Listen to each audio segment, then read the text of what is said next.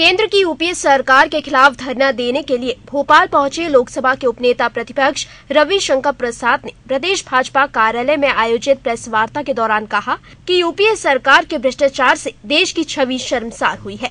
यदि हम संसद में भ्रष्टाचार के मुद्दे पर बहस करते हैं तो सरकार अपनी जवाबदेही से बचती है।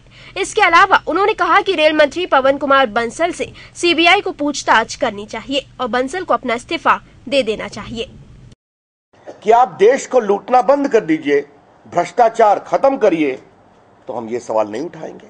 लेकिन आप भ्रष्टाचार करेंगे, हिंदुस्तान की सरकार को एक प्रकार से बाज़ार बना देंगे, जहाँ बोली लगती है हर फैसले के लिए, चाहे कोयला हो, चाहे टू हो, चाहे भारत सरकार के सचिव के स्तर का पद हो तो हम जनता की तरफ़ से यह गंभीर मांग करेंगे और हमेशा करेंगे।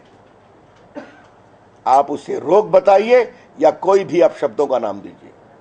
We owe it to the people of the country to raise these concerns on their behalf कि चाहे वो श्रीमान पवन बंसल हो या श्रीमान अश्विनी कुमार हो, इनको बचाने की कोशिश बड़ी बेशर्मी से क्यों की जा रही है? क्योंकि जैसे ही ये हटेंगे, सीधी आँच प्रधानमंत्री पर आएगी। The Prime Minister will straight away come under fire because he is vulnerable. Ravishankar प्रसाद ने केंद्र के भ्रष्टाचार का चिट्ठा जनता के सामने खोलने का ऐलान किया है और कांग्रेस को प्रदेश और राष्ट्र से उखाड़ फेंकने की बात कहते हुए लाल किले पर भाजपा की सरकार झंडा फहराएगी। उन्होंने इस बात का संकल्प भी लिया।